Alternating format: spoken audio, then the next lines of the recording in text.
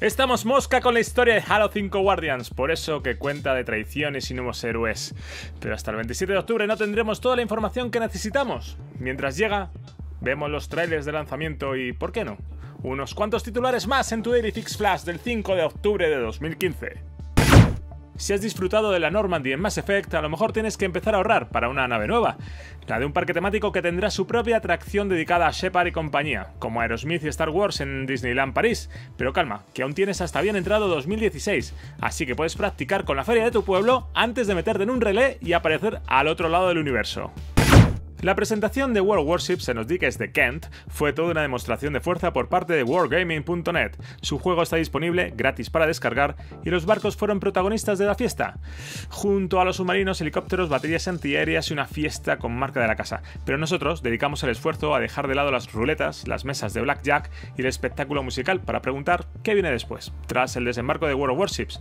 Y la respuesta fue clara: Wargaming piensa en Master of Orion, pero también en muchos otros juegos que llegarán tarde o temprano conversión en caja o online, desde las oficinas, en todo el mundo, y con el objetivo de convertir sus 4.000 empleados en una fuerza imparable, una compañía con intención de dominar el sector, más allá de los free to play. ¿Qué te creías? ¿Que solo tenían World of Tanks?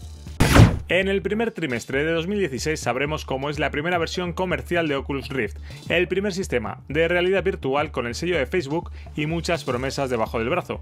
Pero según contó Palmer Lackey en una entrevista para Connect, el precio del sistema superará los 350 dólares, con mejores lentes, mayor resolución y calidad de imagen como objetivos para evitar que pensemos que aún le falta un hervor a la realidad virtual para casa.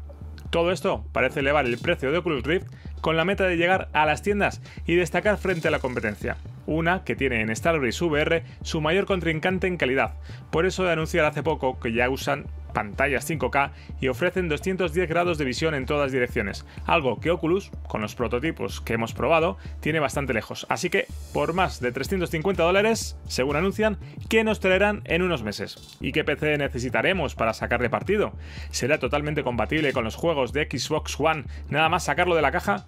Respuestas a estas y otras preguntas las sabremos después de Navidades. Mientras tanto, seguiremos pegados al televisor, al proyector, al monitor o a un buen libro de papel son todo opciones, vamos. Y con todo esto y mucho más nos despedimos hasta tu Daily Fix Flash de mañana, pero recuerda que tienes muchos más vídeos en IGN España en nuestro canal de YouTube y que puedes verlos con las apps gratuitas para Xbox One y PlayStation 4.